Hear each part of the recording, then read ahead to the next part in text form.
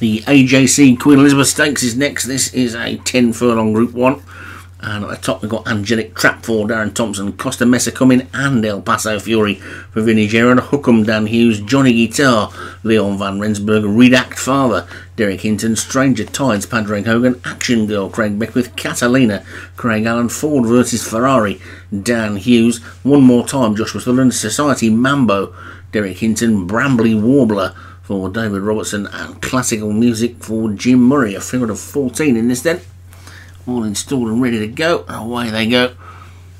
And it's going to be the first one to poke its head in front. Looks like it's going to be Catalina for Craig Allen, but quickly joined by Redact Father for Derek Hinton, and that one is being scrubbed along to try and get across to the rail he's just about managed to do so as well. From one more time now in second, and then Johnny Guitar. Classical music is next in Catalina and Hookem and Ford versus Ferrari, the two Dan Hughes horses racing together. The Greys Hookem, I think, and it's Redact Father who is in the lead, but leading by about four.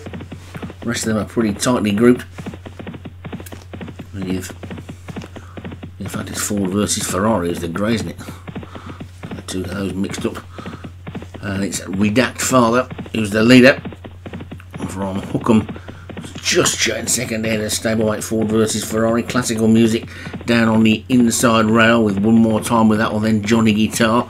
Wide on the track is Stranger Tides. Catalina is tucked in mid-division with Angelic Trap El Paso Fury and Costa Mesa coming the two Vinnie Gerard horses towards the back. Brambly Warblers the near the back and Society Mambo's the back marker so Derek Hinton top and tails the field at this point then. Four furlongs to go Redact Father in the lead Hookem second. Then classical music and one more time going round the outside Stranger Tides is throwing down his challenge early and comes through now to head the chasing pack but Redact Father is still going on in the lead Catalina's come back through in the third Hookem is still there also coming through now Johnny Guitar he's coming through with a challenge but it's still Redact Father in the lead there's only two furlongs to go and they haven't got past him yet Redact Father is in the lead from Catalina and Johnny Guitar. One more time, Ford versus Ferrari trying to get an action going in the first mention. It's still Redact Father then going down towards the final furlong. And Redact Father continues to lead. And in fact, he's pulling away now. It's Redact Father for one more time. Johnny Guitar right up the centre of the track. El Paso Fury is absolutely flying. And El Paso Fury swoops into the lead to take it. El Paso Fury wins it from Classical Music, Costa Mesa, and Angelic Trap, and then Hookem and Ford versus Ferrari dropped out the back. It looked like Derek Hinton's horse was going to hang on.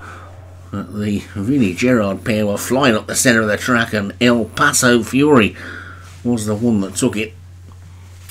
El Paso Fury, the winner for Vinnie Gerard. Classical music was second for Jim Murray. Costa Mesa coming for Vinnie Gerard was third. Uh, Angelic Trap for Darren Thompson fourth, and one more time for Joshua Sutherland was fifth.